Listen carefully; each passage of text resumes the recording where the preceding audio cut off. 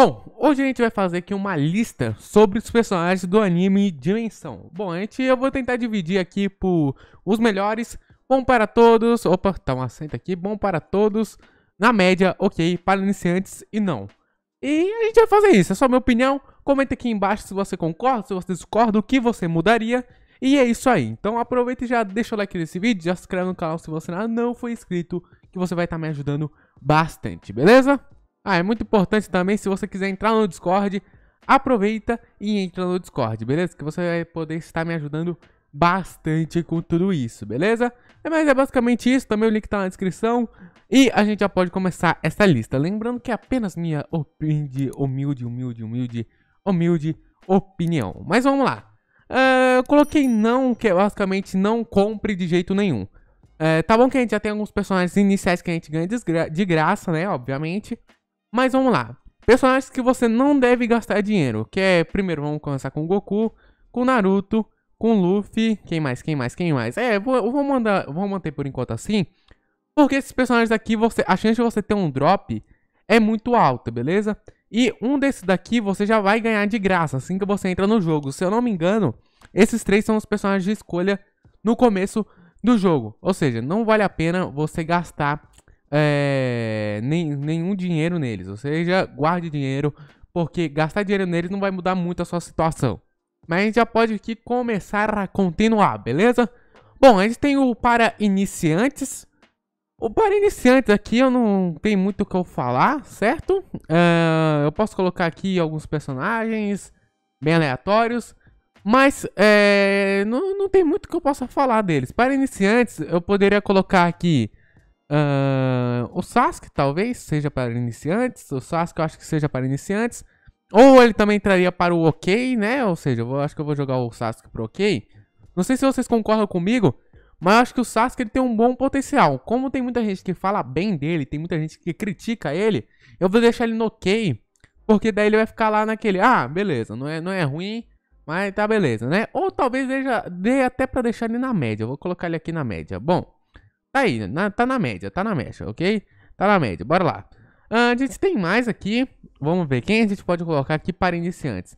Bom, a gente pode colocar aqui, vamos ver, vamos ver, vamos ver. Para iniciantes eu posso colocar aqui. Uh, talvez. Hum, Deco, será? Será? Não sei. Bom, é, é planejável. Assim, eu deixando Deco aí no. Para iniciantes, acho que não seja a melhor opção. Até porque eu acho que ele deveria estar no não, beleza? Eu vou colocar o Ichigo para iniciantes, é um ótimo personagem aí.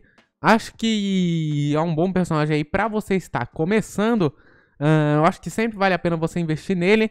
Eu posso colocar também a Sakura. Será que eu coloco a Sakura para iniciantes ou não? Ok, vou deixar no ok.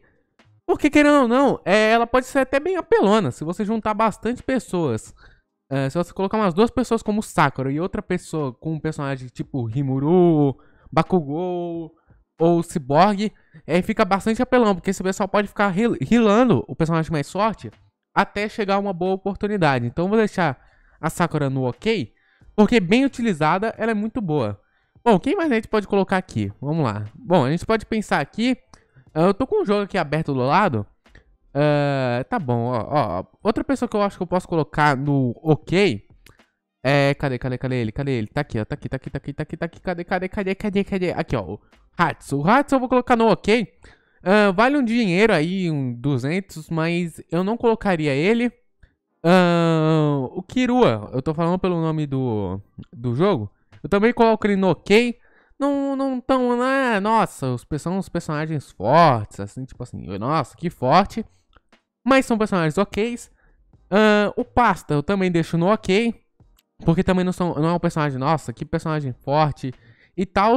E agora a gente já pode começar a colocar, acho que se não, os personagens na média, certo?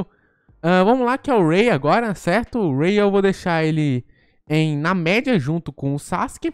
Ele e o Sasuke são bem parecidos até. E eu vou colocar junto na média o Yakaza. O Yakaza, querendo ou não, ele podia estar entrando no ok, mas eu vou deixar ele na média.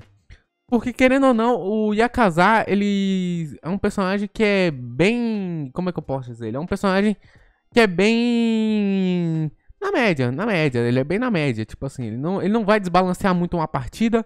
mas ele também não vai evoluir muito. Então acho que vou, vale a pena eu colocar ele na média. E vamos lá, próximo personagem. Tanjiro. O Tanjiro eu fiz o showcase dele e hum, eu posso colocar até ele na média. Mas daí, nossa, seria injusto eu colocasse ele como ok ou na média, né? Hum, vamos lá. Eu tô em dúvida entre ok e na média. Mas acho que eu vou colocar na média. O Tanjiro, por mais que seja, é, se eu não me engano, 50 é, mais caro do que o Sasuke e o Rei, uh, ele dá golpes que são até que bem fortes, como vocês viram na showcase. Mas é, eu, não, eu particularmente não gostei muito dele. Tá bom que ele não dá muito dano, e é por isso que na showcase lá eu dou um desconto pra ele. Por isso que eu vou deixar ele aqui na média, mas não investiria neles, beleza? A gente já tem o próximo, que vamos lá, a gente pode continuar com, com o próximo, que seria o Zenitsu. O Zenitsu é o primeiro personagem de 1600 gemas. Por mais que seja um personagem de 1600 gemas, eu vou colocar no bom para todos, porque é um personagem que muita gente gosta dele, eu vi muita gente gostar do Zenitsu, mas é, não é um personagem tão forte. Eu vou colocar no bom para todos, por mais que muita gente goste, o 7 seria. Não, ó, eu colocaria ele na média. Mas eu vou colocar ele no bom para todos. Então a gente já pode continuar aqui, que o próximo é o Todoroki. Todoroki também tem que entrar no bom para todos. É igual o Zenitsu. Tem gente que. Tem uns que ama, tem outros que odeia. Então, vai ficar ali no bom para todos. Eu acho que não tem personagem ruim, vai saber da pessoa usar. Mas o Zenitsu e o Todoroki, eles vão ficar no bom para todos. Eles poderiam se encaixar no, na média, mas é, no bom para todos, eu acho que é, é ali, tipo assim, ah, beleza, tem é 1600 gemas, são fortes, mas tem personagens que são mais fortes que ele. Mas também tem quem? O próximo. O próximo é quem? O, o, o patrão, né, mano? O Rimuru. Rimuru. Rimuru é os melhores. É, é os melhores. É, não tem nem condição. O Rimuru é. Mesmo com a atualização agora, eu acho que o Rimuru ainda é mais forte do que o Cyborg. Vale mais a pena você investir no Rimuru do que no Cyborg. Ainda, ainda, porque o cooldown do Rimuru é menor. Mas a gente ainda não tem a diferença de danos exatas. A gente sabe que o Cyborg dá mais dano.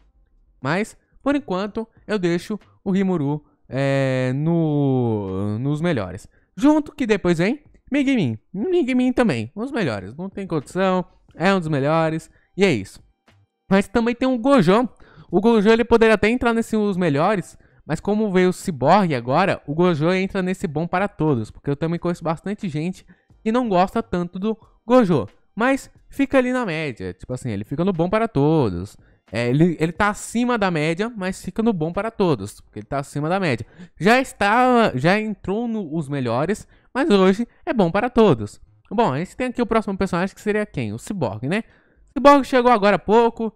Eu achava que seria mais caro e que seria um pouco mais forte. Eu errei na minha, na, no meu palpite, mas Cyborg sem condições, né? Cyborg, os melhores. É, por, pra mim, o meta, por enquanto, por enquanto, o meta é Migmin, Rimuru e Cyborg.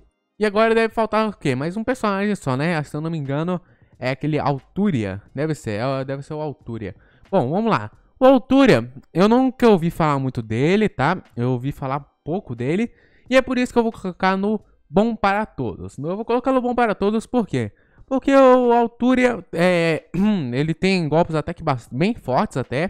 Se eu não me engano, é, acho que é só o cooldown dele que tem algum... Acho que é só o cooldown, mas é, acho que é alguma coisa assim.